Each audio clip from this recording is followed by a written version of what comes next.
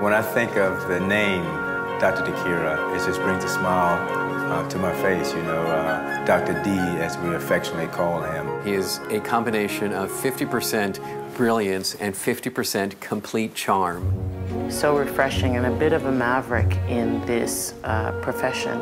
He trusts his own inner voice. Here is a man who came to Detroit with the crazy idea that we could have opera here.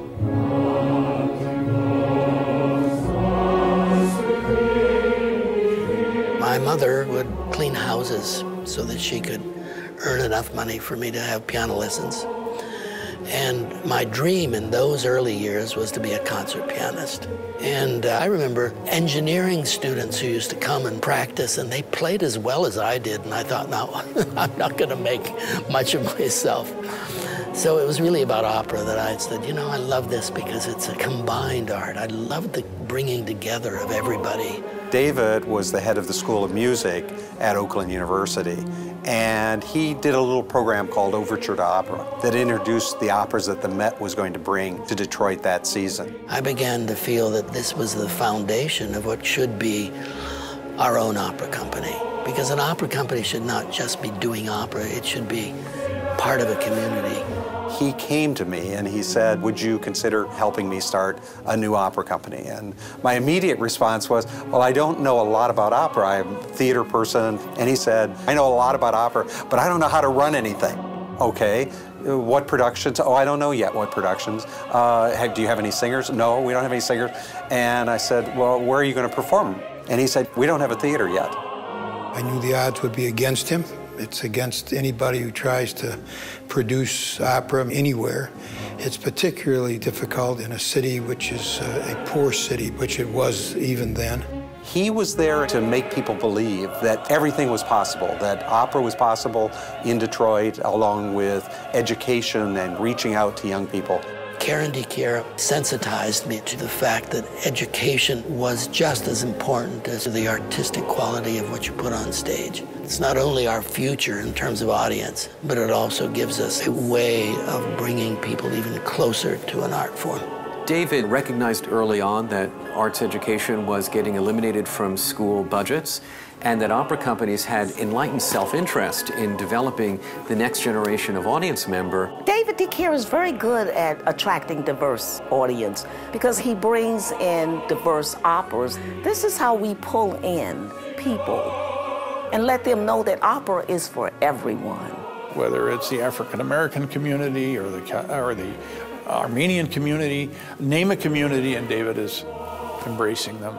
It's not just in Detroit, it was also in Orange County where he helped to start an opera company. After about a decade of going back and forth, I knew that I would have to make a choice. And I said, I need to create an opera house in Detroit because that is going to help revitalize the city. I said, that for me is more important. This facility was a rundown movie theater built back in the 20s in Detroit's heyday. I brought Luciano Pavarotti here. And I was embarrassed because, first of all, you couldn't even step on the stage. You would have fallen through. And I said, Luciano, this is going to be an opera house. And so he sang, and he said, Yes. He said, I think so. David took us over to see the new opera house, and he was very excited about it. And we all kind of went, oh, that's, yeah, this is really something, David, you know, being supportive. But we had no idea how this could ever become what indeed it did. It's been a great day for the city of Detroit when that opera house opened its doors. This is really the center of Detroit's renaissance right here, and a lot of it had to do with David's commitment to this project. It's one thing to pay for a ticket, but people do more than that. They're going to, to the restaurants, you know, they're walking around to see the positive changes in the city. So there's a multiplier impact that is hard to put a dollar figure on. Then I always felt the first new opera that we do in this opera house should really reflect the city in a very special way that honors and pays tribute to the African American community, the major uh, population of our city.